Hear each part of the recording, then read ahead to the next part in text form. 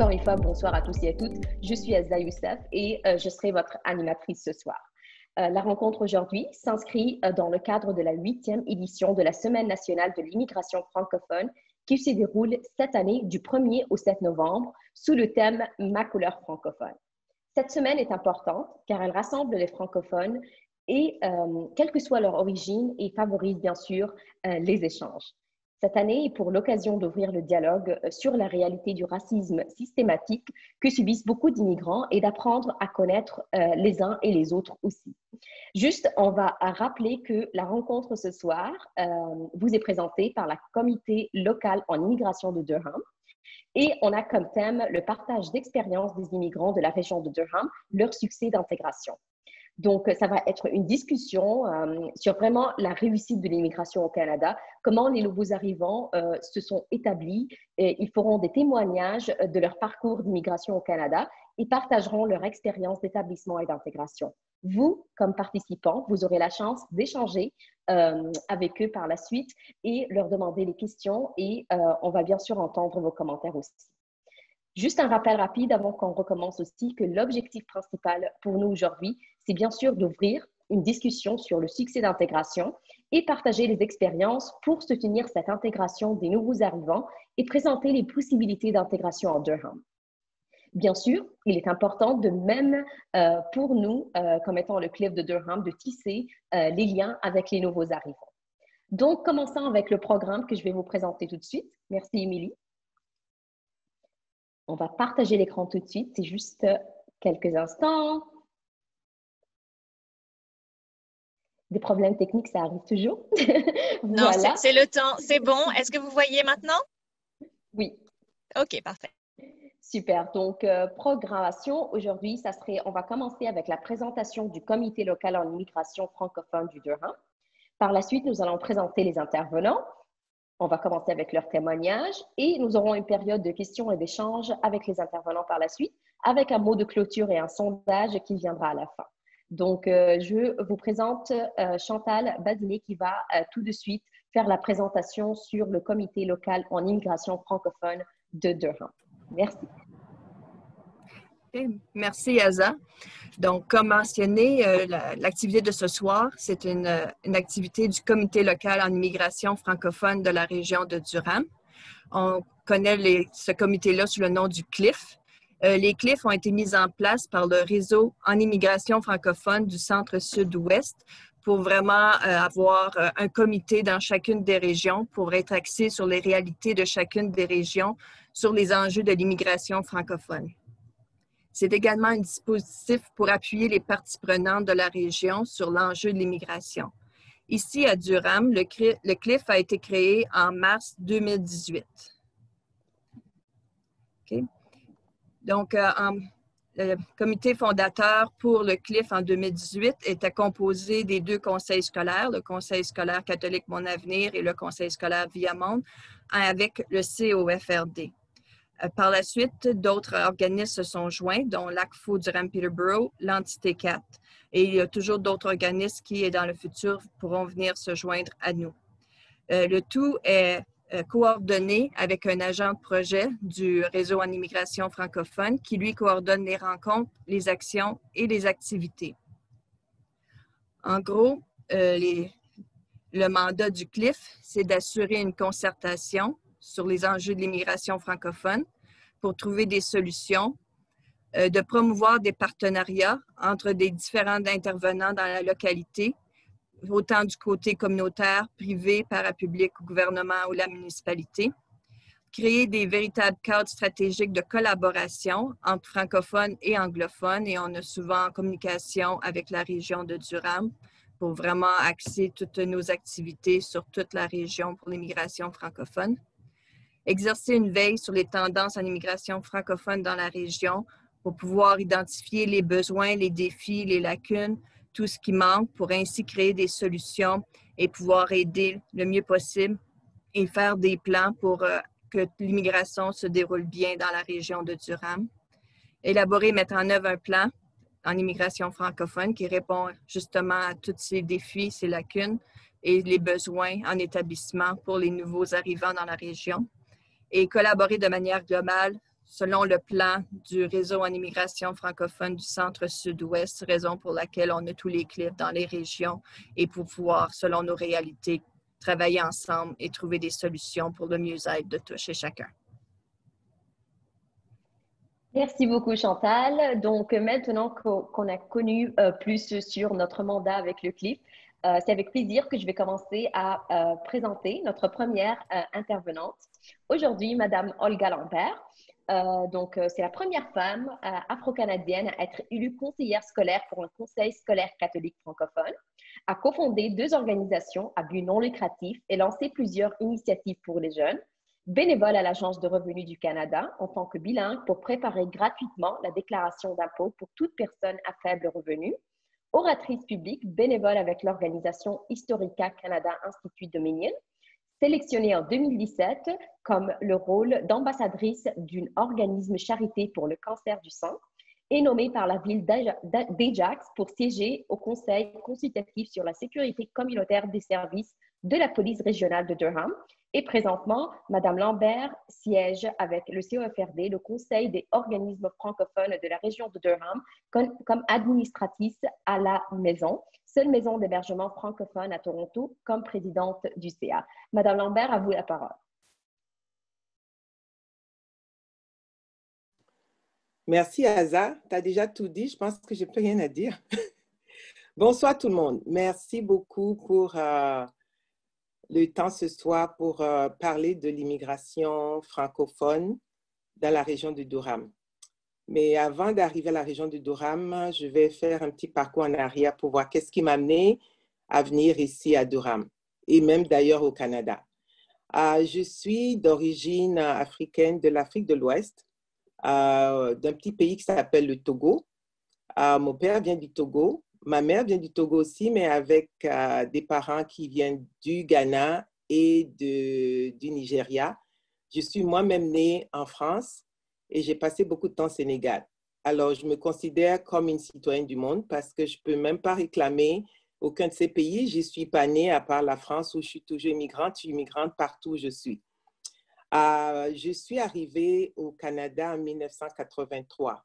Mais on parle aussi de comment est-ce qu'on est confronté aux difficultés dans sa race. Quand j'avais 8 ans, je suis revenue de l'école en pleurant. J'habitais encore en France avec mes parents et mon père m'a demandé pourquoi je pleurais. Je lui ai dit que quelqu'un m'a dit que j'étais tombée dans un pot de chocolat et que je ressemblais à la crème glacée au chocolat.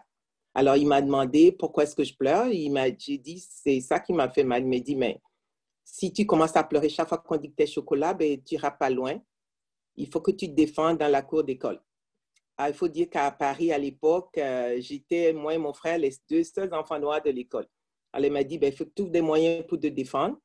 Alors, tout ce que j'ai trouvé pour dire à mon camarade qui me disait que j'étais euh, tombée dans du chocolat, c'est que moi, je disais qu'il ressemblait à un petit cochon nouveau-né qui était tout rose. Alors, ça réglait l'affaire, euh, où nous deux, on pleurait ou on pleurait pas, mais ça m'a donné une carapace dès l'âge de 8 ans, quand mon père me dit, il ne faut pas que tu arrives en pleurant chaque fois que quelqu'un te dit que tu ressembles à notre couleur. Et jusqu'à aujourd'hui, je pense toujours à cette petite scène quand je me trouve à des difficultés où je dois me défendre. en 83, j'étais, je, vivais au Sénégal et je voulais absolument apprendre l'informatique. Et la seule place où je pouvais apprendre l'informatique, c'était en France, mais il fallait être boursière. Et je ne pouvais pas avoir obtenu de la bourse d'études.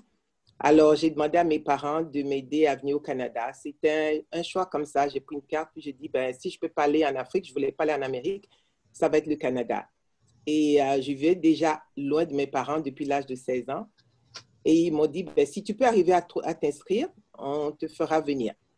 Euh, en Afrique, pour venir au Canada, ça coûte excessivement cher. Et euh, beaucoup de gens m'ont dit le parcours qu'il faut avoir comme étudiant international et surtout pour avoir les papiers et le visa. Ça m'a pris un an et je ne vous dirai pas combien d'examens médicaux et combien d'études je devais passer à travers. Il n'y avait même pas d'ambassade au Togo et je devais le faire seulement de mon pays d'origine. Ah, quand finalement j'ai choisi l'université, c'est parce que de l'université du Togo, j'ai appris qu'il y avait des professeurs de l'université de Moncton qui venaient donner des cours. Et ils m'ont dit que c'était une belle petite ville, c'était tranquille. Au départ, je voulais aller à Laval. Alors j'ai dit, tout ce qui est tranquille et calme, j'y vais. Alors je connaissais personne au Canada. Tout ce que j'ai fait, c'est de réussir à m'inscrire. et j'ai débarqué au Nouveau-Brunswick après 27 heures de vol en août 83. Euh, je pense que les deux ans que j'ai étudié pour faire un bac de trois ans a été mes plus belles années au Canada. J'ai trouvé une communauté très chaleureuse. Je restais sur le campus. Les gens m'ont adopté. Euh, à l'époque, il y avait beaucoup d'étudiants étrangers, mais surtout des hommes qui étaient de l'Afrique ou de l'Afrique noire ou de l'Afrique du Nord. Beaucoup de gens du Cameroun, mais pas de filles. Euh, j'étais encore une, euh, une innovatrice euh, au Nouveau-Brunswick, surtout à Moncton, à l'université francophone. bien sûr qu'il y avait des gens dans les autres provinces, mais à Moncton, il y avait aussi des personnes de l'Haïti, mais de l'Afrique, en 83, j'étais la seule. Mais je ne me suis pas sentie dépêchée parce que j'étais très, très bien accueillie. Et cette année-là était le bicentenaire du Nouveau-Brunswick. Alors, je me suis inscrite à la chorale parce que c'était la seule façon de me faire des amis. Et avec ça, on a fait tout le tour de la province. Je connais toutes les villes possibles de, du Nouveau-Brunswick. Caraquet, Tracadie, Bouctouche, je les connais toutes. J'ai été vraiment une Acadienne adoptée. Le temps que je quitte deux ans plus tard, j'avais mon drapeau acadien, j'étais pratiquement intronisée acadienne. Euh, mais pendant que j'étais là, j'ai eu des défis aussi parce que je viens d'un pays qui est politiquement très, très euh, dictatorial.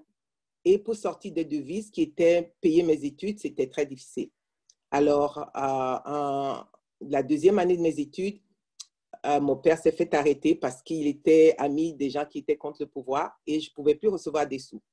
J'ai été voir l'immigration et ils m'ont donné une permission spéciale qui s'appelle un permis de ministre qui m'autorisait à travailler sur le campus. Parce que dans le temps, quand tu étais étudiant étranger, tu n'avais que le droit d'étudier et de repartir et c'était inscrit sur ton visa d'étudiant. N'a pas le droit de travailler, ne peut, ne peut même pas faire même du bénévolat qui est payant. Alors, j'ai eu cette permission spéciale et ce que je faisais, c'est que les, les professeurs, comme j'ai resté en résidence, m'appelaient pour garder leurs enfants et je me faisais payer 2 dollars de l'heure. C'était les meilleurs 2 dollars de l'heure de salaire que j'ai jamais gagné parce que c'était de l'argent honnête, mais j'avais l'argent dans les poches. Quand on avait un bar sur le campus pour les étudiants, j'allais, on me permettait d'aller faire le vestiaire. Puis euh, c'était bénévole, mais j'avais mon petit verre là, puis je recevais les 25 sous qui me permettaient de faire la lessive. Alors c'était vraiment, malgré ces difficultés financières, c'était une belle, belle année, deux ans vraiment admirables. Mon seul regret, c'est que vu que je ne pouvais pas payer mes études, l'école m'a permis de rester parce qu'après la première année, j'ai eu une bourse d'excellence, mais je ne pouvais pas participer à la hum, collation des diplômes parce qu'il fallait que mes études soient payées. Plus tard, quand j'ai pu les régler, comme deux ans plus tard, ils m'ont envoyé mon diplôme, mais c'est ce petit honneur que, que je regrette un peu que je n'ai pas pu faire. Du montant, je suis allée à Sherbrooke. Je voulais continuer ma maîtrise, et j'ai eu un choc culturel parce que là, j'étais rendue au Québec et puis ce n'était pas la même chose. Euh, la convivialité que j'ai eue au Nouveau-Brunswick n'était pas le même.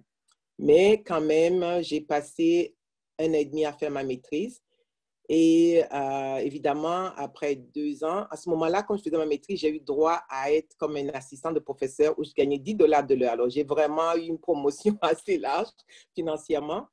Mais l'intégration n'était pas la même. Euh, je trouvais ça plus difficile avec les gens du Québec parce qu'il fallait constamment que je prouve mon statut d'étudiant vu que je ne pouvais pas avoir de l'argent constamment. Tous les six mois, il fallait que euh, j'aie montré que j'avais des sous dans mon compte euh, pour pouvoir continuer mes études.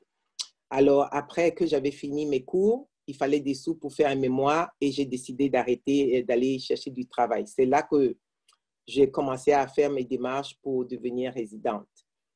Euh, j'ai rencontré mon futur mari à Montréal, vu que j'ai quitté Chaboukala à Montréal. Et en 89, il a trouvé un travail en Ontario. Il a dit, c'est venir. Puis j'ai dit, bon, à nous l'aventure. Je l'ai suivi. Il est anglophone. Euh, je l'ai suivi. On est venu à Toronto. On est d'abord allé à Hamilton. Alors, vu que j'avais déjà une maîtrise, j'ai pris les 50 meilleures compagnies qui étaient dans le temps IBM, Ernest Young, la Banque de Montréal, en tout cas, je les ai toutes listées et j'ai appliqué. Elles m'ont toutes répondu que j'étais trop qualifiée.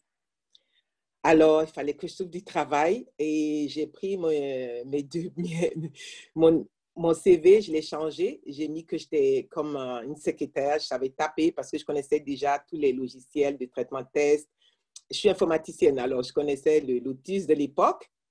Et j'ai été voir une compagnie de placement bilingue pour le gouvernement. Et le même soir, ils m'ont appelé. Ils m'ont dit, il y a quelqu'un au gouvernement qui veut quelqu'un pour taper un rapport. Alors, j'ai été faire l'entrevue. Ils m'ont dit, oui, tu peux faire.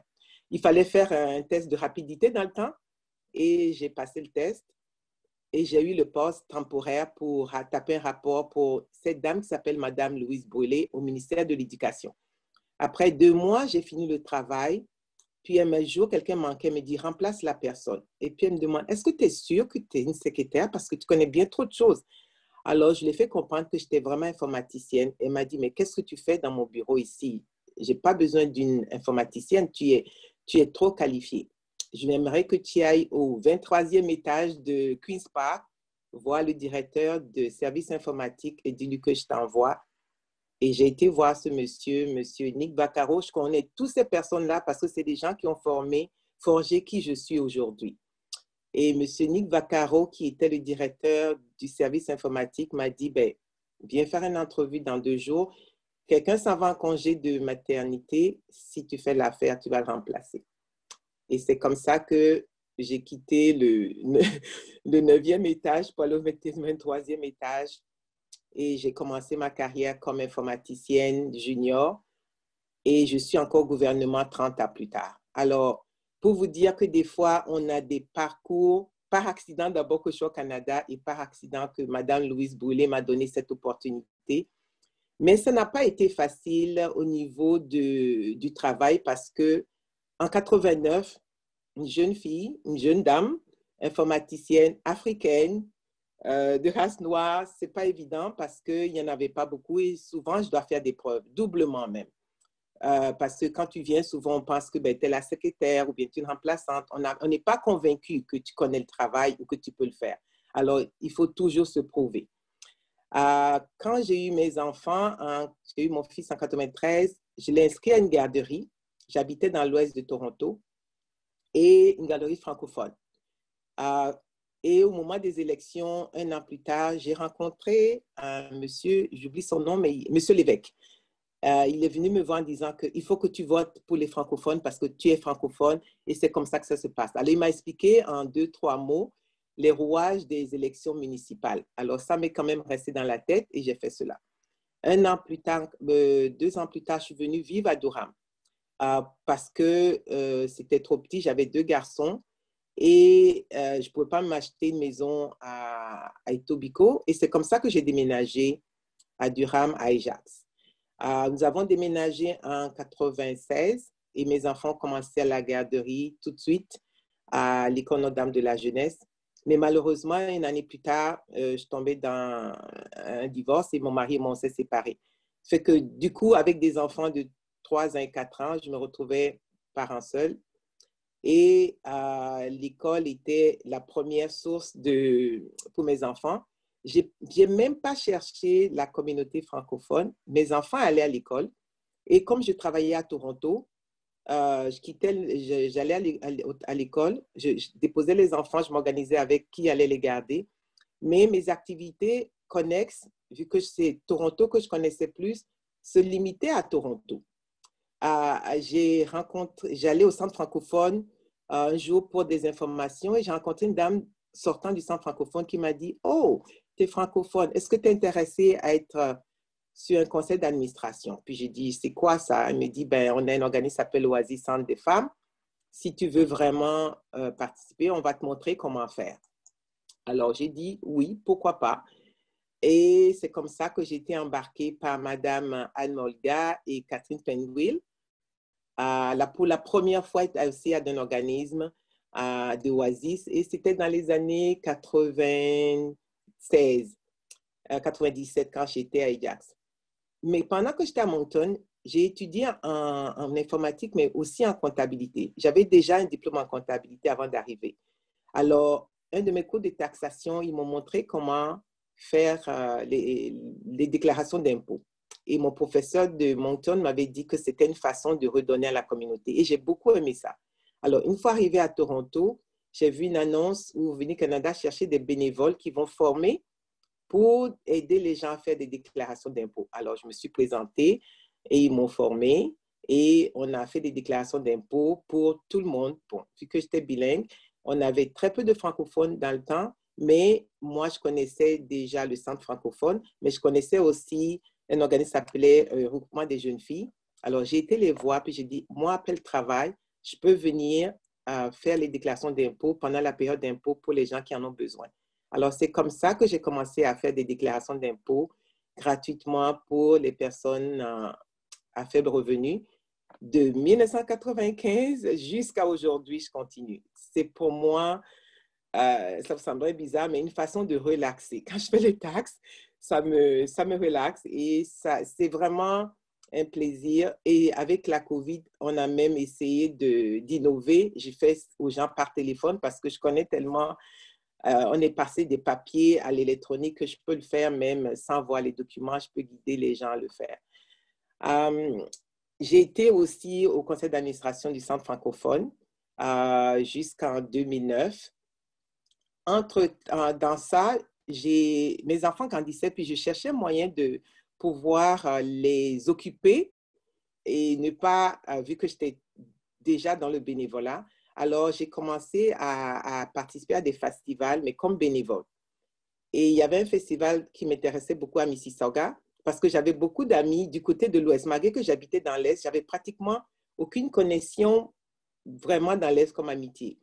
Quand mes enfants ont eu leur première communion étant dans une école catholique, c'est comme ça que j'ai connu la communauté francophone de Durham à, à travers l'Église. Mais mes activités se limitaient beaucoup à l'école où j'ai été euh, membre du conseil d'école. C'était pour moi une façon de connaître ce qui se passait dans l'école. J'ai été sur le comité d'école où nous avons eu les, premiers à mettre un, centre de jeu dehors pour les enfants. Alors, on a dû faire des levées de fonds.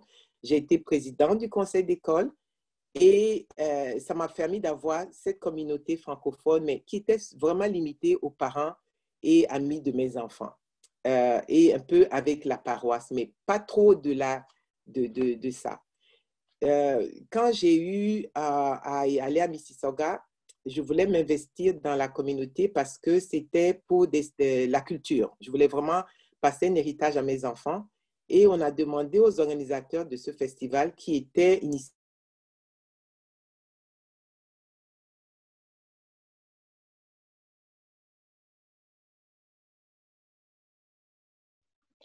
Je pense qu'il euh, il y, a, il y a quelque chose qui est arrivé avec la connexion euh, de Madame Lambert. Euh, j'étais vraiment dans l'histoire là, je voulais savoir qu'est-ce qui va se passer par la suite, mais peut-être on pourra euh, juste euh, attendre quelques instants jusqu'à qu'elle se reconnecte et elle pourra continuer son histoire. Mais je ne vois pas qu'elle est encore de retour. Ok, ça arrive.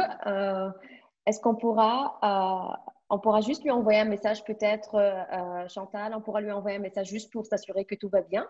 Et euh, nous allons continuer de notre part avec euh, les intervenants. Ou peut-être on pourra juste attendre que Chantal nous revienne avec une réponse.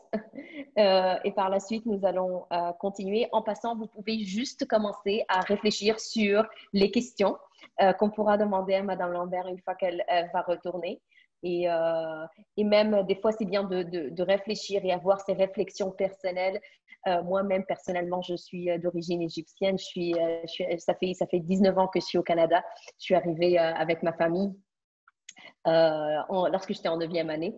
Et je sais que je ne suis pas vraiment l'intervenante, mais puisqu'on a un peu le temps ici, je pourrais vous partager mon expérience personnelle. C'est que j'étais installée, ça fait 19 ans au Canada, on était à Toronto, j'ai gradué d'Étienne Brûlé, l'école secondaire Étienne Brûlé, c'est une école française publique, francophone publique. Euh, une fois que j'ai gradué, j'ai continué mes études à Glendon en campus euh, francophone et euh, en psychologie et marketing. Depuis mes années de secondaire, j'étais pas mal cette fille immigrante qui ne savait pas beaucoup sur les différentes réalités. mais je parlais français parce que l'Égypte est un pays francophone quand même. On était dans des écoles privées là-bas. Et c'est à cause de la FESFO, la Fédération de la jeunesse franco-ontarienne, que j'ai commencé à comprendre c'était quoi la réalité euh, qui nous entoure parce que je, siégeais avec eux. Euh, ils avaient une présentation dans notre école secondaire. Par la suite, euh, j'étais pas mal avec mon esprit d'humour. J'étais là dans tous les ateliers. Par la suite, j'étais rapprochée pour siéger avec eux. je ne savais pas c'est quoi, mais j'ai beaucoup aimé l'aventure. Et c'est d'ici que j'ai siégé avec eux pendant deux années, mes, mes années de secondaire. Et j'ai compris beaucoup plus. Euh, j'ai ouvert mes yeux à différentes réalités euh, franco-ontariennes. Et, euh, j'étais pas mal inspirée par le fait que oui, nous sommes différents, mais on a tous une identité commune. et c'est ici ma passion pour la communauté francophone qui a commencé. Par la suite, je me suis mariée parce que c'est dans notre culture, c'est normal de se marier tôt. Et je vais euh, rendre Madame Lambert aller de retour. Peut-être euh, plus tard, je pourrai continuer mon histoire. Et voilà. Rebienvenue, Madame Lambert. Est-ce que vous nous écoutez? La connexion audio est en train de se faire. Voilà, ça devrait être bon. Je m'excuse. Elle a juste tombé. Ça juste m'a laissé tomber. Alors, j'ai changé d'ordi parce que l'iPad. Pas de problème, je vous laisse la parole. Excusez-moi. Alors, euh, après avoir créé l'organisme du pavillon Afrique à Durham, euh, j'avais fait, j'étais présidente du conseil d'école et euh, pendant que j'étais à l'école Notre-Dame de la jeunesse, on s'est rendu compte que bon, notre clientèle, c'est-à-dire le nombre d'élèves augmentait et avec le conseil d'école, on a pris l'initiative d'encourager le conseil à ouvrir l'école Jean-Paul II. Alors, on était tellement heureuses, même des mamans, on était toutes des mamans euh, nouvelle dans l'école, mais nouvelle aussi comme nouvelle maman. Euh, je ne pense pas qu'il y en avait une qui avait plus d'expérience que d'autres parce qu'il y en a qui venaient du Québec ou étaient comme moi, euh, nouvellement avec des enfants de bas âge. Mais on était très fiers qu'on a pu encourager et le conseil l'école à ouvrir l'école Jean-Paul II. Et on a pu aussi laisser des enseignants de notre école partir pour commencer notre école pour que les enfants ne se sentent pas dépaysés. Et mes enfants sont arrivés en septième année. Et là, j'ai commencé avec l'école Jean-Paul euh, Saint-Charles-Garnier au conseil des parents. Et j'étais à une réunion en fin de semaine avec des amis à Toronto et je les ai entendus parler de conseillers scolaires. Alors, une a dit, ben, en fin de semaine, on va se rencontrer pour préparer comment aller faire la campagne. Alors, ils m'ont dit, mais t'es pas intéressé? J'ai dit, non, pas cette année, l'année prochaine. ils ont commencé à rien dire, ben non, les conseils scolaires, c'est une fois chaque quatre ans. J'ai dit, bon, si c'est chaque quatre ans, il faut que j'y aille maintenant.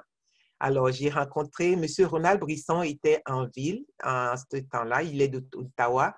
Il dit, ben, si vous voulez, je vais vous donner comme un, on dit un crash course un week-end. Et juste un samedi, avec euh, deux autres femmes, il nous a montré comment se préparer pour aller en campagne. Alors, je vais vous dire, en 2006, il n'y avait pas de GPS, puis il n'y avait pas de téléphone cellulaire. S'il y en avait, c'était très peu. Et moi, je voulais être représentante à Durham. Et c'est de Durham, c'est de Pickering jusqu'à juste à la limite de Peterborough. Je connaissais nulle part. J'ai acheté une carte routière. J'étais maman seule et mes enfants, tous les soirs, on ciblait un coin de la ville parce que les francophones sont éparpillés et on s'en allait euh, on prenait une rue, puis quand je trouvais ce qu'on allait mettre, les enfants, on courait mettre les pamphlets dans, dans, les, dans les boîtes aux lettres. Et je peux vous dire le nombre de fois qu'on s'est perdu euh, dans la campagne, dans la Oxbridge et tout ça, parce que comme je dis, il n'y avait, pas de, avait pas de GPS. Mais c'était une belle aventure parce que j'ai fait cette campagne avec mes enfants. Et c'est comme ça que j'ai été élue. Euh, je ne savais pas que j'étais la première femme africaine jusqu'à ce que j'arrive à la table du conseil que les gens disent, ben, il y a eu des gens d'autres origines, mais pour le Conseil catholique euh, francophone, euh, pour moi, ce n'était pas d'être euh, une statistique, c'était plutôt de répondre à des besoins qui étaient comment nos écoles, comment les besoins. Et surtout, pour moi aussi, c'était important que les gens comprennent que quand on est immigrant d'une autre culture, l'assimilation ou l'intégration des écoles se fait aussi par la famille. Moi, j'ai étudié en Afrique, j'ai étudié en France et j'ai étudié ici. Alors, je, peux expliquer la dynamique que en Afrique, l'école est tout. Les parents laissent les enfants aux soins des enseignants, alors qu'ici, il faut que les parents soient participants. Et ça, ça ne se fait pas si les parents ne comprennent pas cette dynamique, s'il n'y a pas un échange, s'il n'y a pas cette explication de la même façon que l'enseignant s'attend à ce que euh, y a une communication entre, mais nous, en Afrique, tu vois seulement qu'on t'appelle, que le parent, l'enseignant t'appelle, c'est que ton enfant fait des bêtises. C'est pas parce qu'il y a, c'est pas un partenariat. Alors, il y avait tout ça que, qui était important pour moi, mais aussi répondre aux besoins de toute la communauté. Et j'ai fait ça et en 2014, en 2010, j'ai appliqué pour un deuxième mandat où j'ai été élue. Euh, j'avais déjà dans mon objectif que je ferais que trois mandats euh, dans ma tête. Euh, en 2009, malheureusement, j'ai été malade. ce n'est pas ce que pour tout le monde. J'ai eu le cancer. Alors, il fallait que je fasse des choix. J'ai dû laisser le centre francophone où j'étais au conseil d'administration et je me suis soignée. Quand je suis revenue au conseil pour le deuxième mandat, euh, j'ai repris mon poste et j'ai été élue. Mais en 2014, j'ai eu un autre cancer et à ce moment-là, euh, j'étais en Europe. Il fallait que je fasse des choix si je voulais me représenter. Bien sûr, les gens m'ont contacté et puis j'ai dit, bon, je ne sais pas, mais je vais essayer. Mais je n'y ai pas mis le cœur et le temps qu'il fallait, c'est-à-dire faire la campagne, aller dans les, euh, tout ce qu'il fallait. Je ne l'ai pas fait. Est-ce que c'est ça qui a fait que je n'ai pas, eu, j'ai pas été élue? C'est possible, mais je, suis passée à autre chose, malgré que je n'ai pas été élue à mon troisième mandat.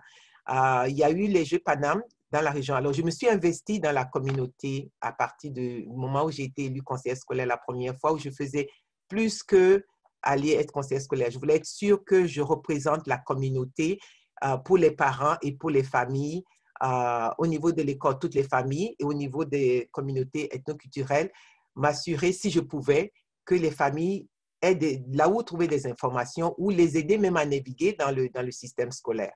Euh, au niveau de ma vie personnelle, je continuais bien sûr le bénévolat au niveau de, de, Revenu Canada, mais aussi euh, j'ai beaucoup d'amis qui sont enseignantes et on a vu qu'il y a beaucoup de jeunes, euh, ethnoculturels ou pas, qui avaient beaucoup de problèmes d'estime de soi. Elles se sentaient trop grosses, trop passées, taille zéro. Et nous avons décidé de créer un, événement pour les valoriser, pour leur permettre d'être de, euh, sur la plateforme. Bien sûr, on voit seulement les Miss euh, qui sont les maigres et puis qui sont de beauté. Nous, ça s'appelait la reine de la beauté, c'est-à-dire que ta beauté intérieure, quelle que soit ta forme physique. Et nous avons commencé ça en 2011 et nous prenons seulement les jeunes filles et les jeunes femmes qui étaient de taille forte et on savait qu'elles avaient des problèmes d'estime de soi et elles étaient valorisées euh, par un concours, par la préparation ou euh, sous différents euh, portraits. On élisait une ambassadrice, la reine, et qui était ambassadrice pour un an. Et il y avait des prix en argent. On n'avait jamais de perdant. Alors, cet événement a amené beaucoup d'enthousiasme dans la communauté parce que ça permettait aussi aux gens de savoir qu'on on peut être belle sans avoir euh, une taille zéro. Ça, c'était le deuxième organisme que j'ai créé avec euh, d'autres personnes. Entre-temps, mes enfants ont participé depuis l'âge qu'ils ont de 5 ans à tous les événements que je faisais, même si c'était pour les jeunes filles ou c'est eux qui faisaient les décors. Ça dit que mes enfants ont toujours été des partenaires avec moi, ce qui fait que leur adolescence a été pour moi très, très douce, malgré que c'était des garçons, euh, parce qu'ils n'ont jamais été à rester à la maison seuls ou à avoir à fréquenter des gens. Ils ont toujours tout fait avec moi. Euh, à Durham, comme je dis, j'ai pas euh, on avait beaucoup, une partie de Durham qui devait présenter les Jeux. Alors, je me suis investie à représenter les francophones sur le comité du passage de la torche parce que sinon, souvent, euh, au niveau de la vie des JAX ou des autres comités, si tu n'es pas présent, on est souvent oublié parce qu'on est en minorité. Alors, on a pu avoir l'école Notre-Dame de la Jeunesse qui a chanté l'hymne national. On a pu avoir les jeunes des écoles qui sont sortis pour le passage de la tonne et on était fièrement représentés comme francophones. J'ai été une des personnes superviseurs des bénévoles pour la vie des JAX. À la vie des JAX, je suis, euh, j'ai été bénévole euh, depuis qu'il y a eu les Jeux Paname, mais je suis aussi sur des comités statutaires. Euh, il y a des comités qui sont pour euh, les gens qui ont des revendications qui sont vraiment au niveau politique, mais on est des bénévoles. J'étais comme euh, une ambassadrice ou comme on dit une trustee pour les bibliothèques de la ville de Jax. Madame Olga, Madame Olga, euh, juste euh, par, euh, je, m'excuse très sincèrement de vous interrompre et je vais, je vais juste me faire un peu la, maîtresse du temps. et je vais juste vous dire qu'il vous reste que quelques, quelques secondes pour, par souci d'équité, on voudrait entendre Monsieur Frédéric aussi. Et je suis vraiment désolée de, de vous, de vous couper en, pleine, en plein témoignage si on veut laisser le temps aux échanges, voilà. Si, si c'est parfait parce que je finissais. Je finissais. Ah, ben c'est parfait. Alors, excellent. Merci. Et je disais que mon dernier comité euh, où je représente, c'est celui de, la ville d'Ajax où j'ai été nommée l'année dernière ou en 2019 pour être au comité statutaire de la police euh, où je suis maintenant et aussi l'ambassadrice de l'organisme de charité pour le cancer de sein pour aider tous ceux qui sont survivants de cancer de sein. Alors, j'avais fini. Merci. Merci beaucoup, Madame Lambert. On veut vous écouter euh, toute la soirée, mais euh, nous avons un certain temps. Euh, je vous remercie beaucoup pour ce cet témoignage très inspirant pour nous tous. je vais laisser peut-être quelques instants. Si quelqu'un a des questions, n'hésitez pas de, de lever votre main ou bien prenez la parole tout de suite. Est-ce que nous avons des questions? Je ne vois pas de main levée. Mais par contre, je pourrais vous demander juste une question avant qu'on puisse euh, euh, passer euh, la parole à Monsieur Frédéric. vous avez parlé de, votre séjour qui est pas mal un long séjour pour une femme d'origine africaine qui vient s'installer dans la région de Durham. moi aussi, récemment, je, me suis installée dans la région de Durham. Donc, j'aimerais bien savoir, c'était quoi votre plus grand défi? Euh, en s'installant dans cette région, à part le, bien sûr le GPS autant comme vous l'aviez dit? Ben, le, grand défi, c'est que euh, de venir dans une zone inconnue où euh, je ne me suis pas préparée à, savoir où est-ce que j'allais m'installer. mon, premier objectif, c'était de trouver une maison et de trouver une école je pense que c'est le minimum que j'ai fait et ça a été plus tard un défi parce que euh, quand j'avais besoin, savez, euh, qu'on a des familles pour, euh, pour aider, ben, je n'avais pas ça. Quand je me suis retrouvée être une famille monoparentale tout de suite, ben, j'ai seulement la famille, même pas les voisinages anglophones parce que je n'avais pas créé de lien dans ma communauté francophone. Et, ça, été ce que j'ai dû cultiver tranquillement parce que je n'avais pas préparé mon arrivée à Durham. Je me suis juste préparée à dire, je veux une maison abordable et puis une école. C'était tout. Même l'église a été fait après. Alors ça, c'était un défi que peut-être en allant s'installer que je ne referai pas. Merci beaucoup, Madame Lambert. Et ça explique pourquoi les euh, conseils scolaires maintenant jouent un rôle très important quand ça vient à l'intégration des, des, nouveaux arrivants et euh, les organismes aussi. Euh, euh, euh, c'est important pour nous de, comprendre ces réalités pour qu'on puisse travailler là-dessus et euh, donner plus de possibilités aux nouveaux arrivants de s'intégrer avec succès comme le vôtre. On vous remercie beaucoup pour votre témoignage et peut-être nous allons continuer avec une autre expérience euh, avec euh, toujours euh, quelque chose de positif tel que Madame Lambert, mais un, différent visage et un différent nom. Je vous présente Monsieur Frédéric Gantimb, camerounais d'origine. Il est arrivé au Canada le 10 mai en, en 2013, diplômé des universités de Montréal, Québec et Ottawa enseignant agréé de l'Ontario. Et il faut aussi ajouter qu'il siège sur le conseil d'administration de l'ACFODP, l'Assemblée de la communauté francophone de la région de Durham-Peterborough. Monsieur Frédéric, à vous la parole. bonsoir tout le monde. Euh, je, je n'aurais pas autant d'expérience, autant à dire que euh, Madame, que Okolga, mais je vais essayer de dire qui je suis et comment je suis arrivé au Canada. OK. En 2007, je vois, je rencontre un monsieur qui était en congé au Canada. Il avait sa fille ici. Il me demande ce que je fais. Je lui explique ce que je fais. Je, je travaille avec les écoles, je travaille dans les organismes. Il me dit, on cherche le personnel de santé au Canada forme-toi. Si tu peux te former dans ce qui est de la santé, c'est une bonne chose. Hmm. Ça ne m'intéressait pas outre mesure, mais bon, je me suis dit pourquoi pas?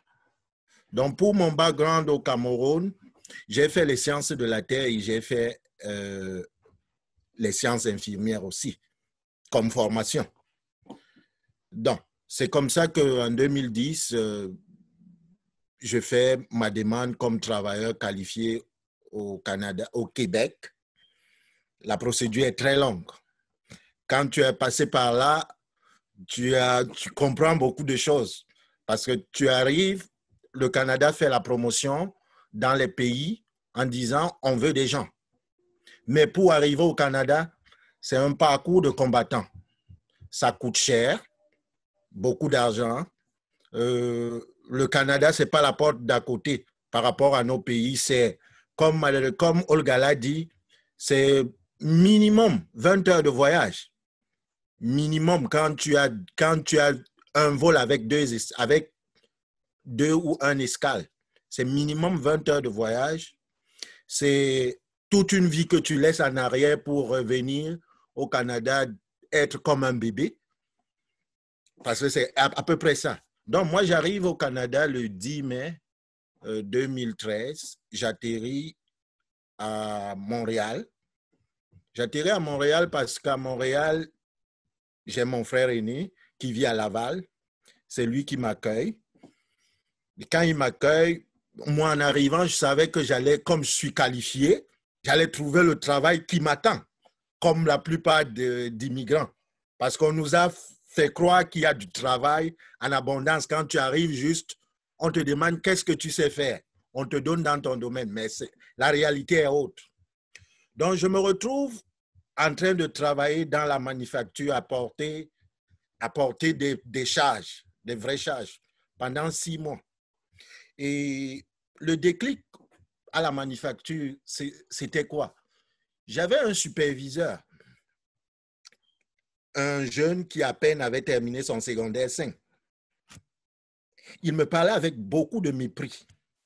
il me faisait des remarques teintées, colorées. Ben, un jour, je me suis demandé, dans tout ce que j'ai fait dans ma vie, c'est à ça que c'est à ça c'est à ça que ça va se résumer. Ça, c'est ma vie. C'est comme ça que je vais terminer ma vie en travaillant dans la manufacture, en musclant chaque matin, en suant, etc., etc. J'ai dit, je, quand je me suis réveillé ce matin-là, j'ai dit, je vais démissionner. Le lendemain, quand je suis allé au, au boulot, j'ai dit, je travaillais dans les magasins Renaissance. Pour ceux qui connaissent Renaissance à Montréal. Donc, j'étais ce qu'on appelle préposé aux dons. Donc, les gens ramenaient des choses, c'est moi qui les transportais, j'arrangeais. Bon. J'ai dit à, à, ma gestionnaire, euh, à, celle qui, qui, qui, gérait le magasin, que je démissionne. Elle m'a dit, tu démissionnes, tu viens juste d'arriver. Est-ce que tu penses que c'est une bonne décision pour toi? J'ai dit oui, je pense mériter mieux que ça.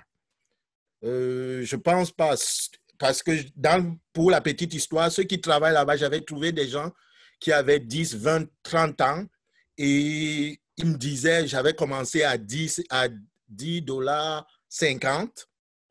Ils me disaient, eux, ils étaient à 12, 13 dollars et ils me disaient que, mais travail, tu peux, tu peux arriver à 13 dollars demain après-demain. Donc pour eux, c'était bien. Mais je comprenais qu'ils n'avaient pas mon background. Et pour eux, c'était la meilleure des choses et ils n'étaient pas arrivés comme des travailleurs qualifiés. Moi, je suis arrivé comme un travailleur qualifié, donc je suis qualifié. Il faut que je, Donc, je me suis inscrit, j'ai décidé donc de m'inscrire à l'Université de Montréal. Je suis allé, je me suis inscrit à l'Université de Montréal. Je me suis dit, je m'inscris en attendant de voir clair. Donc, j'ai fait un baccalauréat et sciences à l'Université de Montréal. Euh, en, en, coopération avec plusieurs concentrations coopération internationale, action communautaire, gestion philanthropique. Dans, dans le secteur des organismes, je connais un rayon pour, pour m'être formé euh, dans ce domaine. Donc, après mon frère aîné, on était à Montréal et c'était tellement compliqué, on n'arrivait pas à trouver notre voie. Parce que c'était compliqué, on se dit, il, il, a décidé un jour de démissionner aussi et de partir en Ontario. Bon, il va, il fait un an, il me parle de l'Ontario. Moi, ma réticence, c'était la barrière de la langue. Je lui dis, oui, je veux bien partir en Ontario, mais c'est l'anglais. Comme tu connais mon problème avec l'anglais, je, pense, bah, il me l'a dit, il y a un autre, euh, un autre ami qui vit en Ontario et il est enseignant, sa femme aussi enseignante. Ils sont venus à Montréal, ils m'ont dit, Frédéric, tu as un grand potentiel.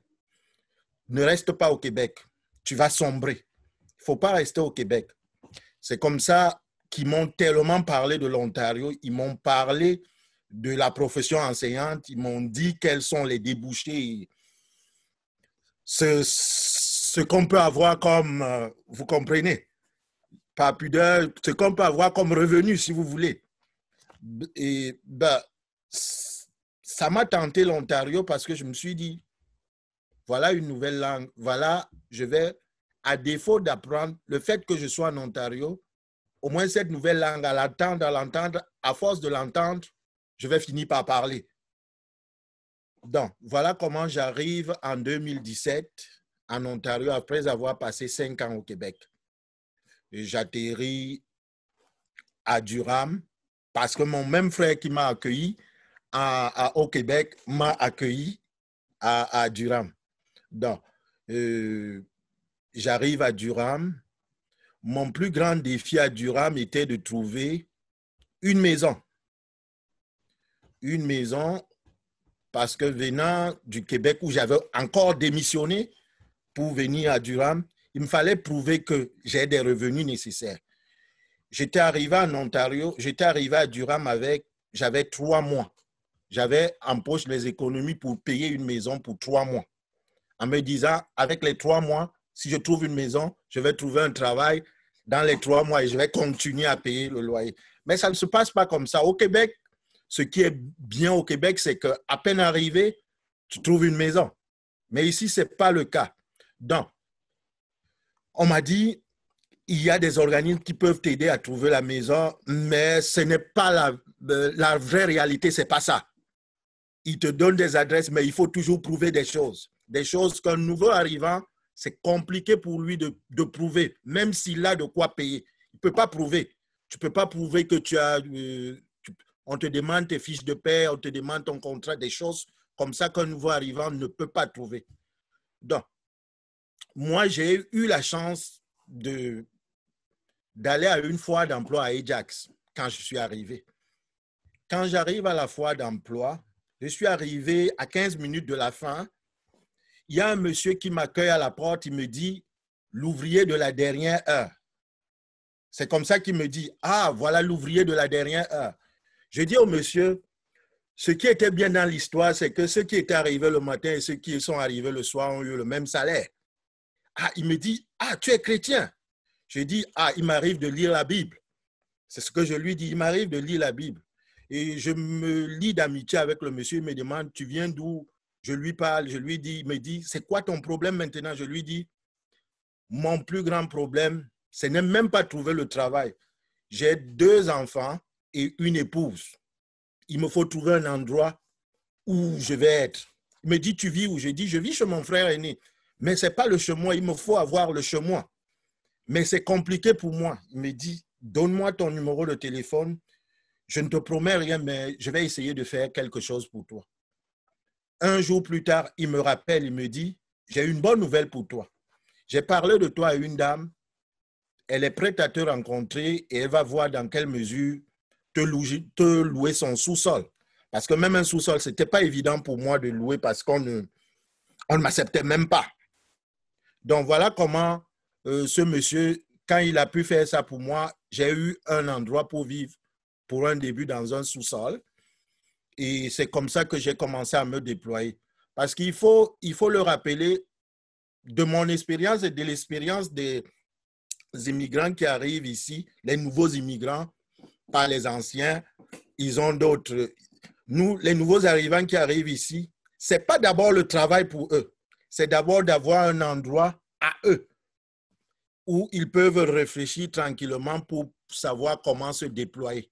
Parce que lorsque tu n'as pas le chez toi, réfléchir, même le travail, ce n'est pas ça qui est en premier. Donc, je me souviens, j'étais passé, j'ai causé avec quelques responsables de, de, quelques organismes. Je leur ai dit une chose, c'est que, écoutez, vous, vous faites dans euh, l'accompagnement des immigrants. Mais si vous voulez faire quelque chose de plus efficace pour eux, soyez leur caution. Portez-vous garant pour qu'ils aient un endroit où, pour qu'on accepte qu'ils puissent louer. Parce qu'ils sont capables de payer. Au-delà, euh, la, la différence entre ceux qui vivent ici, on croit que c'est quand tu as un travail, c'est là où tu vas payer. Mais pour nous autres qui avons vécu dans d'autres euh, contextes, on vient déjà préparer pour quelques mois. On veut qu'on nous donne notre chance de prouver. Mais au départ, on commence déjà à nous mettre des freins en nous disant, tu ne peux pas payer. Si tu n'as pas d'emploi, comment tu vas payer? Donc, euh, ce qui fait que euh, c'était un très grand défi pour moi. Et donc, lorsque je suis arrivé dans ici, je me suis formé encore. J'ai fait un bac en, en éducation. Au-delà, étant à Montréal, j'aime beaucoup étudier. J'ai fait aussi, je ne le dis pas souvent assez, mais j'ai aussi fait dans la gestion des ressources humaines à l'Université TELUC. J'ai fait aussi dans la gestion des projets à l'Université TELUC. Et présentement, en, en lien avec euh, euh, mes enseignements, je fais une maîtrise en enseignement et apprentissage au même moment que je travaille. Donc, je suis, je suis un enseignant agréé déjà et je suis content de mon parcours. Euh, au fur et à mesure, j'aide ceux qui arrivent parce que, comme le monsieur là m'avait dit, il me dit, euh, c'est comme une course de relais. Un jour, je suis arrivé ici, quelqu'un m'a tenu la main. Aujourd'hui, je te tiens la main. Donc, après, ce sera à ton tour de le faire. Et chaque fois que j'ai l'opportunité, je tiens la main à ceux qui arrivent. Chaque fois que j'ai l'opportunité. Si on me dit que quelqu'un de nouveau est arrivé, je l'aide de quelque façon que ce soit à travers mes contacts que j'ai là et ce monsieur-là aussi qui continue. Ce que je veux dire, ce que je, je veux clairement dire aujourd'hui, c'est que pour nous, les immigrants africains, notre meilleure façon de s'intégrer ici dans cette région de Durham, c'est beaucoup plus informellement. Institutionnellement, on nous donne des informations, mais vraiment pour s'enraciner dans cette région, on a besoin d'avoir des personnes qui nous accompagnent de façon informelle. Parce qu'avec eux, on n'a aucune paperasse à remplir. Avec eux, on peut les appeler à, temps et à contre-temps. Avec eux, ils peuvent nous amener à connaître des endroits euh, qui nous sont nécessaires dans cette région et des personnes qui, nous sont, qui, qui vont nous aider dans cette région. Donc voilà comment à peu près euh, moi j'ai procédé. À la question de savoir quel conseil je, je donnerais à quelqu'un qui, qui vient d'arriver. Ce que je dis toujours à ceux qui viennent d'arriver, c'est qu'ils doivent avoir des objectifs clairs dans leur tête. Des objectifs clairs et ne jamais, comme on aime dire, la limite doit seulement être au-delà du soleil. C'est là où la limite doit être. Parce que pour ce que moi j'ai constaté, c'est que beaucoup d'immigrants arrivent avec beaucoup de potentiel et se limitent à la manufacture. Et toute leur vie, ils deviennent aigris. Et, c'est ça. Et moi, je leur dis clairement, si tu as un objectif, tu peux commencer par la manufacture, mais ne t'arrête pas à la manufacture. Dis-toi bien que si d'autres sont au niveau où ils sont, tu es capable. Parce que si toi, tu as recommencé une nouvelle vie, tu es capable de te réadapter. Parce que pour nous, beaucoup d'entre nous, nous recommençons une nouvelle vie. Nous avons plusieurs vies. Quitter d'un pays à un autre, c'est un nouveau recommencement. C'est difficile à comprendre pour ceux qui ne l'ont pas encore fait, euh, c'est beaucoup de changements, c'est beaucoup d'adaptations, mais à la fin, on parvient. C'est ce que je leur dis toujours. À la fin, on parvient si on a la volonté. Donc, voilà à peu près, je pourrais peut-être répondre aux questions si j'ai oublié d'autres choses. Merci. Merci beaucoup, Frédéric. C'était définitivement quelque chose de très inspirant, un parcours euh, euh, rempli d'émotions et, et, très réel. J'imagine que voilà, il y a beaucoup de personnes qui applaudissent dans la salle, donc ils étaient pas mal inspirés aussi. je vous laisse quelques minutes si vous avez des questions. Et juste en attendant, si quelqu'un veut la main, dans le chat, il n'y a aucune question. Mais comme tu l'as dit, Frédéric, vraiment, un acte de gentillesse va un long chemin. Et, et je pense que cette personne qui vous a accompagné d'une façon informelle vous a donné euh, pas mal de motivation de le faire vous-même, euh, même d'une façon plus, euh, plus formelle en siégeant sur des, des, des, conseils de représentation dans des organismes francophones. Et tu as la chance de le faire et tu, tu, le fais parce que moi, je le connais personnellement, donc tu le fais extrêmement bien et on est très fiers de toi. Donc, si vous avez des questions... Si tu, permets, si tu permets, une dernière chose sur le plan associatif, je n'ai pas parlé sur le plan associatif. Sur le plan associatif, quand je suis arrivé au Canada, euh, j'ai créé avec des amis au Québec le, Centre africain pour le mérite, l'épanouissement et la réussite au Québec. L'idée, c'était quoi? Les gens marchandent, euh, euh, comment je peux dire, toute la procédure pour arriver au Canada. Nous, nous nous sommes dit, nous, allons donner des conseils avisés à ceux qui veulent venir au Canada. Comment nous, nous avons, nous allons partager notre expérience. Donc, en partageant notre expérience, nous avons aidé beaucoup de personnes gratuitement à arriver au Canada. Ils sont tellement nombreux. Et en Ontario, aussi, en Ontario aussi, comme tu l'as dit, je fais partie de plusieurs euh, groupes, les Chevaliers de Colombe, euh, euh, la FODP, où je suis en ce moment euh, trésorier. Donc, voilà à peu près sur le plan associatif et d'autres associations formelles et informelles. Super. On a une question. on a une question. merci Frédéric beaucoup pour répondre et clarifier ça aussi. On a quelques questions dans le chat ici, Monsieur Alphonse. Une question pour vous, Frédéric, une autre question pour Madame Lambert, puisque vous aviez votre micro déjà allumé. Donc, Frédéric, quel était ton plus grand défi aujourd'hui? Si tu pourras répondre, ensuite on donnera la parole à Mme Lambert. Quel est mon plus grand défi aujourd'hui? C'est une question un peu compliquée pour moi. Mon plus grand défi aujourd'hui, euh, je ne sais pas, ben, si c'était un défi, je pense que euh, c'était de, trouver un travail décent à, à la hauteur de, tout ce que j'ai déjà fait dans ma vie. Mais pour l'instant, je suis en bonne voie. Je suis en bonne voie d'être, euh, de relever mon, ce défi-là. Je suis en très bonne voie.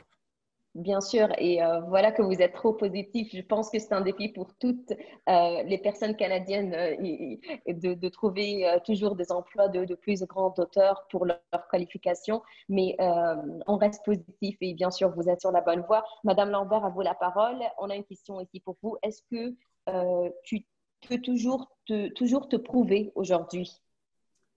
je pense pas j'ai arrêté de me prouver parce que euh, beaucoup de gens me connaissent euh, au niveau communautaire et ne me connaissent pas dans ma vie professionnelle. Et tous ceux qui me connaissent dans ma vie professionnelle ne connaissent pas ma vie euh, communautaire. J'ai vraiment fait la part des choses. Une fois que je quitte mon travail, je vis ma vie, ma vie communautaire. Alors, beaucoup de gens ne savent pas, jusqu'à peut-être même aujourd'hui, que je suis informaticienne, que c'est ça ma carrière professionnelle. Et beaucoup de gens au travail ne savent pas que je suis si investie dans la vie, dans la vie communautaire, à moins que euh, je ne passe au journal ou à la télé où quelqu'un m'ait vu. Et vu que c'est souvent du côté francophone euh, et que je travaille dans un milieu très anglophone, c'est moins connu. Euh, au travail, je dois me prouver parce que, comme je dis, je suis dans un domaine très, vous savez, très masculin. Bon, maintenant, il y a beaucoup de femmes qui sont au niveau informatique, mais euh, je n'ai pas eu beaucoup de, de, bonheur, comme on dit, dans ma vie professionnelle comme je l'ai dans ma vie euh, communautaire. Tout simplement parce que l'avancement dans la carrière pour une femme comme moi, dans le milieu où je suis, a été très difficile. Mais euh, j'ai compris ça très vite. Et quand tu appliques pour un poste, ben, comme on, en parle, on peut parler de, de, de, de biais implicites, ben, je peux ne pas avoir le poste parce que je suis une femme, une femme noire, ou parce qu'on pense que je ne suis pas qualifiée. Mais des choses comme ça, des fois, j'ai des réponses qui sont directement dites. Mon patron va me dire, comme j'ai été prendre un, diplôme en réseau, par exemple, et j'ai dit à mon, patron, maintenant, j'ai été chercher un diplôme en réseau euh, on parle de réseau informatique, bien sûr. Est-ce qu'il peut me donner des opportunités pour pouvoir grandir? Ma carrière? Me dit, non, tu es maintenant informaticienne de ce, dans ce genre de travail. Si tu veux aller, euh, aller en réseau, ben, va trouver un autre emploi. Des, commentaires comme ça pour mm-hmm. une jeune dame, ça, ça bloque. Alors, ou des fois, quand tu appliques pour un poste, ben, les autres te font dire, ben, mon patron sait déjà qui va prendre. Alors, au lieu d'être frustré, je prenais ça en disant, je vais canaliser euh, ailleurs. Et je canalisais ça dans ma, dans, au, niveau communautaire où j'avais beaucoup de succès et beaucoup de joie. Alors, je n'essaie de rien prouver, sauf que de m'épanouir en sachant que j'aide quelque part. Si je n'ai pas le bonheur au niveau carrière, ben, j'ai besoin de payer les factures, comme on dit. J'aime beaucoup mon travail, mais en même temps, quand je vis dans ma vie communautaire, je l'adore encore plus. Alors, je fais vraiment la part des choses. Et c'est ça le bonheur vraiment, Madame Lambert. Euh, euh, si euh, nous avons d'autres questions, peut-être on pourra les écrire dans le chat. Mais en passant, parce que Frédéric a déjà répondu à cette question, quels consignes ou bien quels conseils pourriez-vous vraiment donner à une personne qui vient s'installer à Durham, d'après votre expérience?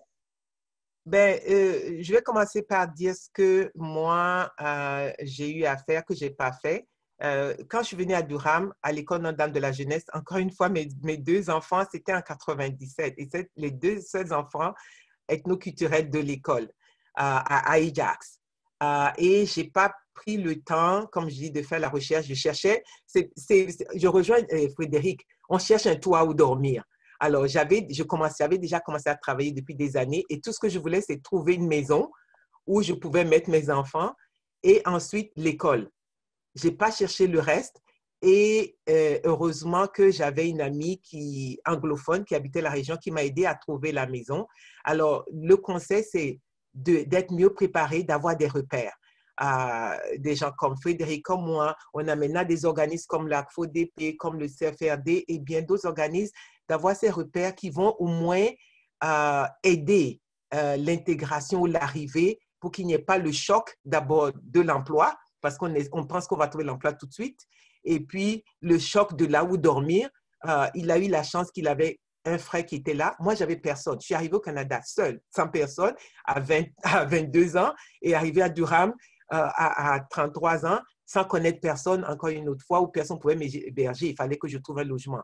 Donc, au moins, les organismes comme le vôtre est déjà une entrée en fonction euh, ou les groupes religieux, mais il faut un peu plus et il faut que cette visibilité se fait. Et il y a aussi le lien informel. Et c'est de ça que je me bats parce que souvent, les gens sont craintifs, ils ne vont pas approcher. Mais s'ils savent que, ah, tiens, euh, il y a Frédéric qui est là, quand vous arrivez, euh, ressources aux nouveaux arrivants, ils vont plus aller vers Frédéric ou bien aller vers moi ou bien d'autres personnes Adolphine fait bien dans les représentantes communautaires, on les trouve et puis on dit, ah, voilà l'école, euh, voilà euh, là où trouver une maison.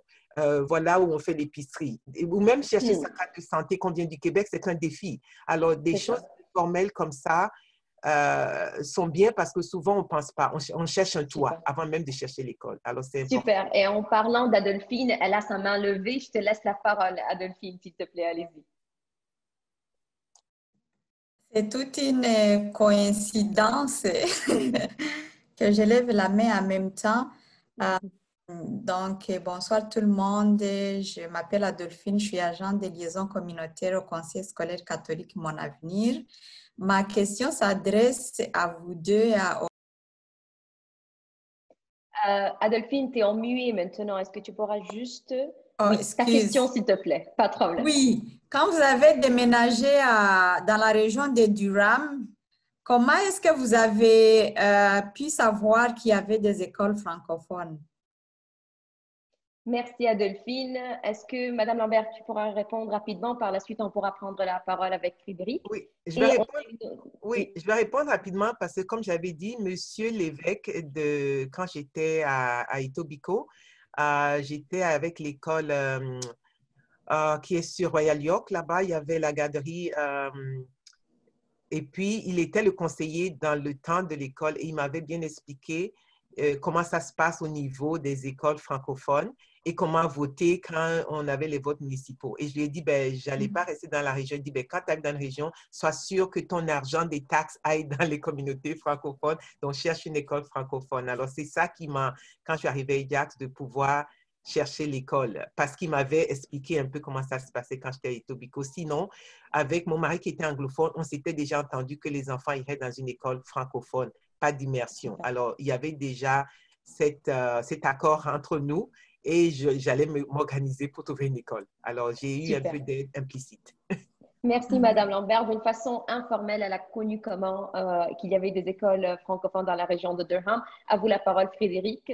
Oui, moi, euh, mon, ma famille qui était déjà installée avait déjà fait tout le travail pour moi. Donc, hmm. j'avais ma belle-sœur, ou j'ai ma belle-sœur qui enseigne dans l'école où j'ai mis mes enfants, qui est une école catholique. Donc, ce qui fait que lorsque moi je suis arrivé, tout était déjà dessiné pour moi en, en termes de où mettre les enfants à l'école. Très bien. Et maintenant, on a beaucoup de ressources, euh, même pour les nouveaux arrivants qui pourront définitivement euh, y avoir accès. Euh, par la suite, on a des différents conseils scolaires dans notre région, les écoles. On travaille très fort avec eux en proche comme étant des, des, organismes francophones dans la région. Donc, ça, c'est définitivement quelque chose de positif. il y a ici un commentaire aussi dans le chat qui dit Hier soir, nous avons eu une rencontre entre les membres du Club de Toronto et des leaders de la communauté francophone. Beaucoup de points évoquent ont fait surface. Nous ne devrions pas organiser une plateforme de coordination entre nos cliffs. Donc, ça, c'est une question euh, euh, définitivement intéressante. On pourra peut-être avoir euh, ce type de rencontre au futur. Qu'est-ce que tu en penses, Émilie? Oui, probablement. Et puis, c'est quelque chose aussi qui se fait au niveau du comité régional. Euh, également, il y a un comité régional qui existe et il y a des échanges effectivement à faire. Super, ah, merci. S'il te plaît, Donc, euh, Aza, il y a Tarsis qui demande la parole. On va donner. Oui, allez-y, Tarsis, s'il te plaît, allez-y. Merci beaucoup, Aza. Euh, oui, c'est moi qui ai posé la question que vous venez de lire. effectivement, nous avons entendu beaucoup, beaucoup d'aspects hier soir lorsque nous étions en rencontre avec les leaders communautaires dans notre région. Il y a beaucoup de travail à faire. Euh, moi, je suis content d'avoir écouté euh, nos amis qui ont fait leur, leur témoignage. Olga Lambert, avec elle on se connaît depuis un bon bout de temps. Frédéric, c'est aujourd'hui que je le rencontre et je vous remercie tous les deux votre contribution. moi, je suis au Canada depuis 1995 euh, et tout ce que vous deux avez dit, Olga et Frédéric, m'interpelle parce que je suis passé par là. Je suis passé par là. Et ce n'est pas facile. Moi, j'étais un diplomate euh, ayant servi mon pays d'origine pendant une vingtaine d'années à des positions élevées comme ambassadeur euh, en Chine et dans la région de, de, de, l'Asie de l'Est, puis aux Nations Unies comme représentant permanent. Quand je me suis, quand je, me suis rendu ici au Canada pour des raisons politiques comme réfugié politique, j'ai eu exactement le même parcours de combattant. On s'en fout ici que vous ayez un grand bagage euh, intellectuel qui pourrait contribuer au développement social de ce pays et économique de ce pays. On s'en fout. Moi, je me souviens à un certain moment, pendant que j'essayais de me caser, alors que j'avais été ambassadeur et je roulais dans des Mercedes euh, avec chauffeur qui, qui mettait mon véhicule à la température appropriée avant de m'inviter. Excellence. J'ai pris un emploi de chauffeur de bus scolaire. Il y a très peu de gens qui savent que je suis passé par là. Chauffeur de bus, les, les yellow buses, school bus, et je devais, je devais conduire 32 jeunes gars et jeunes filles, les ramasser et les amener à deux différentes écoles. Donc, je me suis fait traiter comme un mal appris et par les enfants qui m'ont lancé des objets contondants et par les chauffeurs collègues qui étaient payés par la même compagnie. Et un jour, un des chauffeurs m'a dit, mais Tarsis, pourquoi est-ce que quand les chauffeurs ont fini leur tournée, toi, tu vas dans ton bus et tu, tu te mets à lire quelque chose au lieu de discuter avec les autres chauffeurs? Il dit, mais discuter de quoi? Quand j'ai voulu discuter avec certains chauffeurs, il y en a qui m'ont dit, mais toi là, qu'est-ce que tu viens faire ici pour nous prendre notre travail? Ambassadeur, je suis accusé de prendre le travail d'un chauffeur ou des chauffeurs. Vous savez, c'est déprimant. Alors, le travail, la suggestion que Frédéric euh, a, dit qu'il faut vraiment qu'il y a besoin d'accompagnement, etc. Moi, je soutiens. L'idée d'Olga Lambert, qu'il faut toujours se prouver, je suis d'accord. J'ai suivi tout ça, j'ai dû me prouver, raison pour laquelle je suis maintenant un employé de, de la province de l'Ontario. Je fais un travail que j'aime beaucoup, euh, les services de santé en français pour nos francophones. Si j'ai pu faire ça, je peux certainement faire ça. Et je suis très content. Mais pour nos jeunes qui arrivent, les gens qui arrivent ont besoin d'entendre Frédéric, ont besoin d'entendre Olga, ont besoin de m'entendre, entendre Aldolphine, entendre d'autres personnes pour qu'ils arrivent à se dire, ah, je ne suis pas vraiment au bout du gouffre, parce qu'il y a des gens que, que, je vois, que je connais, qui, qui ont pu réussir. Je joins avec l'idée qui est sortie hier euh, par les leaders communautaires avec lesquels nous avons discuté, avec lesquels nous avons échangé, ASA, ils nous ont dit qu'il faudrait que nous mettions en place un modèle, un mode de communication. il y en a qui ont même été plus loin, qui nous ont dit qu'ils ont besoin d'une sorte de journal, d'une sorte de, recueil d'informations pour relier les francophones entre eux, pour que les gens ne se sentent pas euh, complètement délaissés. Mm-hmm. Nous pourrions travailler ensemble, faire la même chose dans Durham et dans Toronto. Bien sûr. Voilà ce que je veux dire. Merci beaucoup, Monsieur Tarsis, pour votre intervention. C'était euh, euh, très riche avec euh, des liens entre votre réalité et les réalités des intervenants. bien sûr, ce, n'est pas facile. C'est des séjours assez différents, mais avec les mêmes défis qu'on pourra les voir toujours. Si on n'a pas des questions ou bien je ne vois pas des mains levées dans la salle. Moi, Olga. Olga, oui. Oui, allez-y, Madame Lambert, oui. Alors, euh, j'ai un commentaire, peut-être aussi une question à vous, les organisateurs. C'est que euh, je me rends compte ici, peut-être d'autres sont arrivés avant moi, que je suis arrivée ici au Canada en 1983. Et j'entends Frédéric qui est arrivé en 2017. Ce n'est pas, euh, ou en 2013, mais ce n'est pas normal que arriver en 2013 et moi arriver en 1983, euh, et avec Tarsis au milieu qui vivent les mêmes réalités que j'ai vécues. Ce n'est pas normal. Il parle de manufacture, j'ai peut-être omis ça, mais à Montréal, je suis passée par les manufactures, malgré que j'avais déjà un diplôme de maîtrise. Ce n'est pas normal, ce n'est pas, euh, je ne vais pas dire acceptable, que les gens arrivent déjà qualifiés, qu'il y ait encore ce parcours de combattant qu'on dit. je vais reconnaître quelque chose aussi à, la région du Durham, c'est que je me suis sentie accueillie. Je l'ai choisi parce que je voulais une école, je voulais être dans une région euh, loin de la ville. Et vous savez quoi, il y a une petite ferme qui habite, qui n'était pas loin de là où j'habite. Et ça, c'était quelque chose qui était bon pour moi, pour mes enfants. Cette ferme existe encore.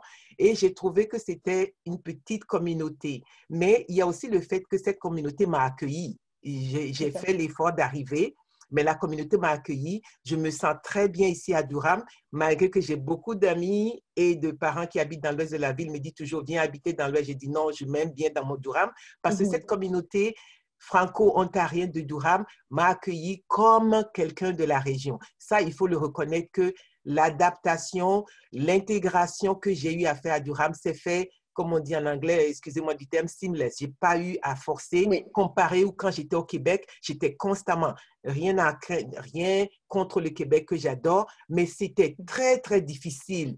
Euh, le loyer était la seule chose qu'on pouvait payer rapidement au Québec. À part ça, s'intégrer au Québec est très difficile. Ça a été pour moi, je ne sais pas pour vous, Frédéric, mais à Londres, mhm. c'était la même chose. Alors qu'à Durham, euh, c'était vraiment fantastique et je continue à adorer Durham, à aimer Durham. Alors, euh, il faut reconnaître aussi que les gens qui arrivent, c'est ce qu'on veut faire, leur facilité, qu'ils ne soient pas perdus. Moi, j'aimerais toujours que quelqu'un qui arrive à Durham, qui soit du, du Québec ou bien de l'étranger, euh, que nous ayons cette structure d'accueil à travers vous, mais qu'on peut dire, ah mais tiens, va parler à Frédéric, va parler à Olga, va parler à, à, à Hervé, pour qu'il y ait aussi cette communion informel pour dire, ah ben Exactement. c'est vrai. Alors, c'est vraiment important ce que vous dites, même si c'est des newsletters, qu'il y a des gens informels qui peuvent appeler parce que nous avons une communauté qui grossit. Nous sommes une communauté où les, taux culturels grossissent de plus en plus. Il faut, c'est parce qu'on les accueille bien. Moi, je peux le reconnaître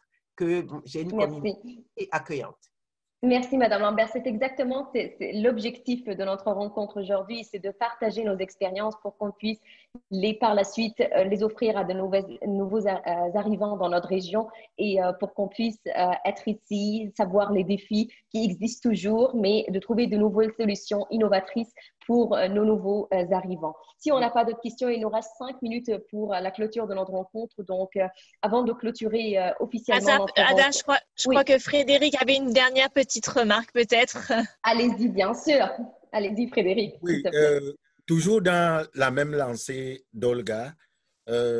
moi, j'ai atterri au Québec, comme je le disais. Mais ce qui m'a marqué dans Durham, c'est le brassage. Il y a ce brassage-là les communautés se côtoient. Euh, quand j'étais à Montréal, euh, je vais appeler Chacha, j'avais pas de contact direct avec quelqu'un d'une autre communauté que la communauté africaine. Parce qu'on ne se fréquentait pas.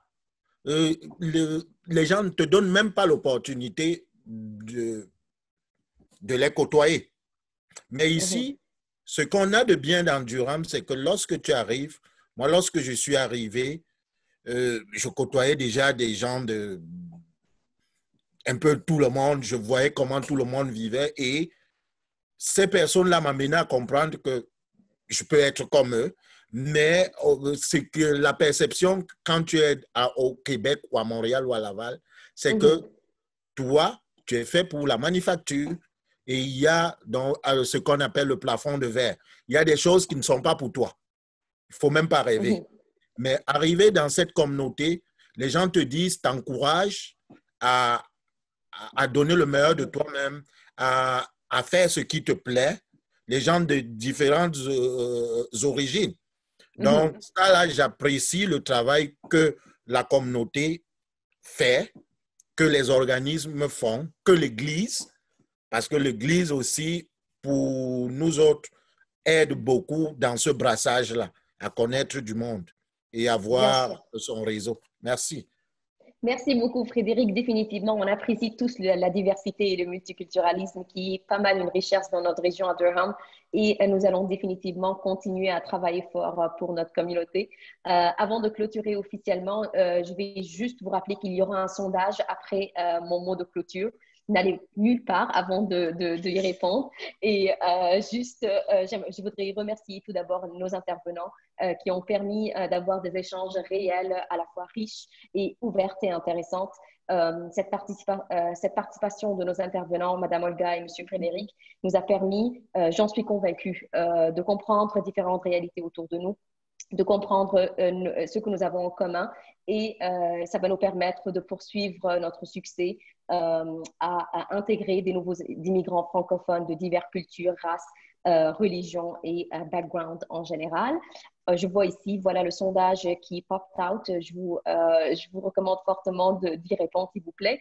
Et je tiens également, bien sûr, à vous remercier tous euh, pour votre participation active. Et je remercie aussi mes collègues, toute l'équipe de la comité local en immigration de Durham, qui continueront définitivement à travailler pour tisser ces liens avec les nouveaux arrivants. Je vous souhaite tous une merveilleuse soirée et merci beaucoup pour votre participation. Merci, beaucoup à tous et euh, je salue au passage M. Jean-Paul Saint-Amour, euh, un directeur que j'ai connu de Mississauga. Merci beaucoup. Merci Aza. Et juste avant que tout le monde ne, ne raccroche, moi je voulais juste vous rappeler qu'on est pendant la semaine nationale de l'immigration francophone. C'est vraiment une semaine, comme Aza l'a dit au début, qui est importante pour tout le monde. Donc euh, si vous voulez participer à des activités, euh, vous pouvez aller sur notre site internet qui est réseaudesoutien.org. Et euh, vraiment, je vous invite aussi à vous inscrire. On a un débat de clôture qui est demain. donc c'est vendredi, c'est entre 18h et 20h. Et c'est un sujet qui est vraiment vraiment euh, bah, qui nous touche particulièrement, c'est la discrimination fondée sur la race et l'origine ethnique. Existe-t-elle vraiment dans nos communautés d'accueil du CSO Et si oui, quels sont les impacts sur l'intégration des immigrants francophones? Donc, euh, on aura deux panélistes, euh, on aura six panélistes, euh, donc des membres de la communauté d'accueil, des nouveaux arrivants, un avocat, etc. Et puis, on a aussi deux animatrices qui sont Suzanne Huot et Linda Cardinal. Donc, je vous invite vraiment à vous joindre euh, à ce débat. Euh, et puis juste pour terminer, merci à tout le monde et puis merci aussi au CLIF euh, d'avoir pu rendre cet événement possible. et puis, et puis bah, voilà, on se donne rendez-vous bah, vendredi, c'est-à-dire demain, ou sinon l'année prochaine pour une nouvelle semaine nationale de l'immigration francophone. Merci à tout le monde. Et bonne soirée. Émilie?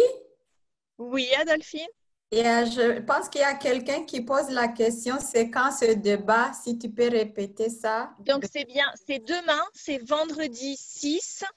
Euh, je vais partager peut-être... Euh, oh, j'ai Ah bah non. Donc c'est demain, c'est de 18h à 20h et le site pour aller vous inscrire, je voulais partager le lien, c'est réseau soutien.org et vous allez dans activités et euh, vous, avez Semaine nationale de l'immigration francophone. Et là, vous avez le lien pour le débat de clôture. Excellent. Et je vous laisse mon mail. Si jamais il y a un souci, vous m'envoyez un petit mail pour vous inscrire et il n'y aura aucun problème. On va s'inscrire.